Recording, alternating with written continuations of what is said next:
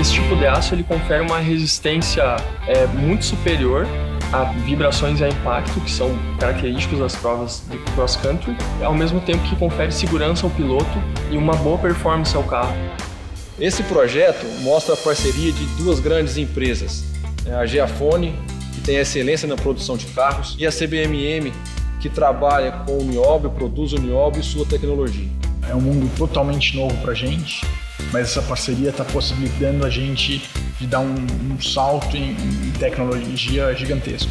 O nióbio, por ele ser mais resistente, ele causa menos distorção. E é por conta disso que facilitou muito o processo de soldagem e a forma que fabricamos os veículos.